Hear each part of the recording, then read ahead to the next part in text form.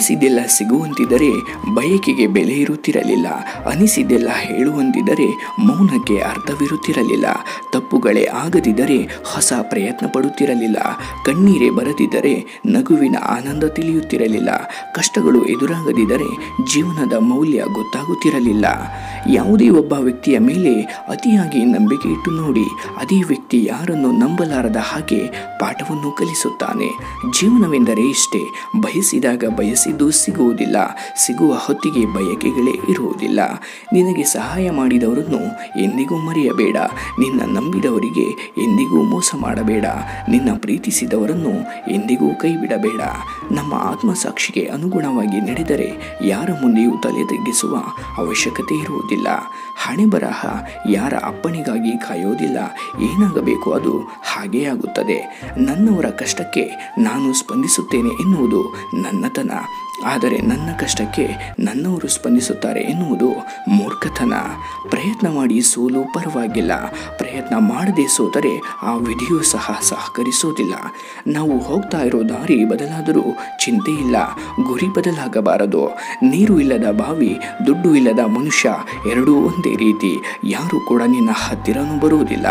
ಒಳ್ಳೆಯವರೊಂದಿಗೆ ಒಳ್ಳೆಯವರಾಗಿರಿ. ಕೆಟ್ಟವರೊಂದಿಗೆ ಕೆಟ್ಟವರಾಗಬೇಡಿ. ಏಕೆಂದರೆ ವಜ್ರದಿಂದ ವಜ್ರವನ್ನು ಕತ್ತರಿಸಬಹುದು ಆದರೆ ಕೆಸರಿನಿಂದ ಕೆಸರನ್ನು ತೊಳೆಯಲಾಗದು. ನೀನು ಆಸೆ ಪಟ್ಟಿದ್ದು ಸಿಗಲಿಲ್ಲ ಎಂದು ನೀನು ಬದಲಾದರೆ ಪ್ರಯೋಜನವಿಲ್ಲ. ನಿನ್ನ ನಿರ್ಧಾರವನ್ನು ಬದಲಿಸು. ಎಂದಲ್ಲ ನಾಳೆ ನೀನು ಆಸೆ ಪಟ್ಟಿದ್ದು ಸಿಕ್ಕೇ ಸಿಗು ಹಠ ಎಂದರೆ ನಿನಗೆ ಬೇಕಾದುದನ್ನು ಪಡೆದು ಮೆರೆಯುವುದಲ್ಲ. ಎಲ್ಲಿ ನಿನಗೆ ನೆಲೆಯಿಲ್ಲವೋ ಅಲ್ಲಿ ನಿನ್ನ ಬೆಲೆ ಸೃಷ್ಟಿಸುವುದು ಅದು ನಿಜವಾದ ಹಠ.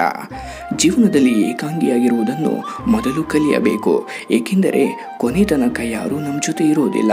ಒಬ್ಬ ವ್ಯಕ್ತಿಯ ನಂಬಿಕೆ ಮತ್ತು ಭಾವನೆಗಳೊಂದಿಗೆ ಎಂದೂ ಆಟವಾಡಬೇಡಿ. ನೀವು ಆಟದಲ್ಲಿ ಗೆಲ್ಲಬಹುದು. ಆದರೆ ಆ ವ್ಯಕ್ತಿಯನ್ನು ಶಾಶ್ವತವಾಗಿ ಕಳೆದುಕೊಳ್ಳುತ್ತೀಯಾ? ಕುಂಟು ನೆಪಗಳನ್ನು ಹೇಳಿ ಜಾರಿಕೊಳ್ಳುವುದರ ಬದಲು ನಿಮ್ಮ ಜವಾಬ್ದಾರಿಗಳನ್ನು ನೀವೇ ಹೊತ್ತುಕೊಂಡು ಧೈರ್ಯವಾಗಿ ಮುನ್ನುಗ್ಗಿ ಯಶಸ್ಸು ನಿಮ್ಮ ತಾನಾಗಿಯೇ ಹಿಂಬಾಲಿಸುತ್ತದೆ. ಮೆದುಳು ಶಾಂತವಾಗಿದ್ದರೆ ನಿರ್ಧಾರಗಳು ತಪ್ಪುವುದಿಲ್ಲ, ಮಾತು ಸಿಹಿಯಾಗಿದ್ದರೆ ಯಾವ ಮನಸ್ಸು ಮುರಿಯೋದಿಲ್ಲ. ಬದುಕು ಕೆಸರಾಗಿದ್ದರೂ ಪರವಾಗಿಲ್ಲ. ಆದರೆ ನೀವು ತಾವರೆಯಂತೆ ಬದುಕಿ.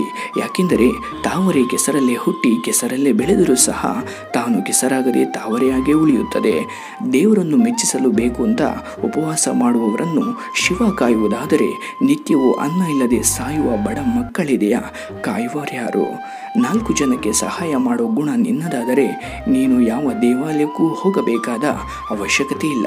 ನೀನು ನಂಬಿದ ದೇವರು ನಿನ್ನ ಹುಡುಕುತ್ತಾ ನಿನ್ನ ಮನೆಗೆ ಬರುವನು. ಕೆಲವೊಮ್ಮೆ ಕಾರಣ ಇದ್ದರೂ ಬೇಜಾರಾಗೋದಿಲ್ಲ. ಕೆಲವೊಮ್ಮೆ ಬೇಜಾರಾದರೂ ಕಾರಣನೇ